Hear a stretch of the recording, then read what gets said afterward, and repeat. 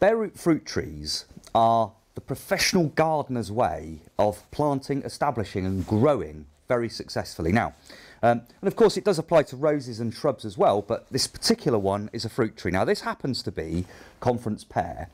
And when you look at it initially, you can see the, ro the roots are exposed. They're not potted, they're not grown in compost. You've got this swollen section down at the base with a join here. And then you've actually got the actual branches here, which we call feathers, at the top end of the tree. Now, each of these important parts is critical. But one of the first things I just want to explain to you is when you look at any bare root tree or shrub or rosebush or in fact any dormant bare root plant of any type, people often look at them and one of the regular questions that we have asked to us is, is this particular item alive or not? And there's a very, very easy way of testing. So get yourself a sharp knife. I've got a little gardening knife here. Obviously, always be careful when handling any sharp knife. And if you start at the most um, extreme part of the tree, and then with your knife, just scrape backwards and look at the colour that's exposed underneath. Now, if it's green, it's alive. And of course, if the branch is alive there, it will be alive all the way down here, and of course, all the way right the way down through the whole tree itself. So that branch we can tell is absolutely fine. Don't worry about that. That will just callus over and heal, no problem at all. If we were concerned and we wanted to just check again, so let's pick another one of the feathers here, and we'll just do the same situation. And if you can see that it's green, which you can see there, that is as green as a Granny Smith apple. That is clearly alive. So it's dormant, it's sleeping, but it's very much alive. So this is a beautiful tree. It's a lovely shaped tree and we've actually pruned it ready pre-planting. So you come down here and you look at the actual uh, structure of it itself. This piece here, again, we often get questions, what is the knobbly bit on the actual base of the tree? Now this is where um, the actual variety, this is pear conference on the top, and it's been grafted onto um, its dwarfing rootstock here. So this is the point where the actual variety meets the rootstock, and you'll see that on apples, on pears, on plums, on cherries, in fact on any fruit tree, and even on roses, you'll also see that grafting point.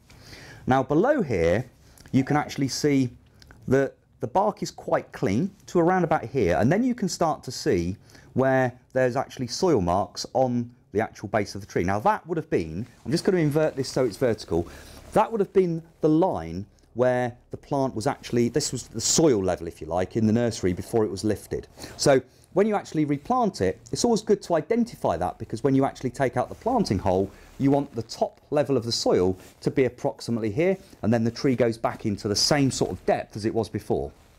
Now when we look at the root systems, you can see you've got different sizes and thicknesses of roots. Now, don't worry about that and don't certainly worry about the fact that some of these roots will have been pruned. That's all done basically to encourage the roots to develop and establish better. And in fact, if you can see there are one or two slightly longer ones than you would ordinarily like, feel free to just get your secateurs and prune them back so they fall in line with all of the others and you end up with a nice uniform root system. And of course, when you get that planting hole taken out, um, take it out so you've got the planting hole there, put a bit of blood fish and bone or shrub fertiliser in there, loosen up the bottom of that hole, then spread the roots out as best you can, pop in the soil, replant it and away you go. So all of that is absolutely normal. That's how a healthy bare root tree should look when you receive it. And of course, one of the things that's great about this, and I think is a little bit magical, is you start off in the early springtime um, with this kind of tree, or if you're planting in the autumn, of course, it could be then as well um, and it will magically burst into growth and literally in this case pear conference from a planting around about sort of January February even March. You could certainly expect to see blossom the year of planting potentially fruit around about September the first year.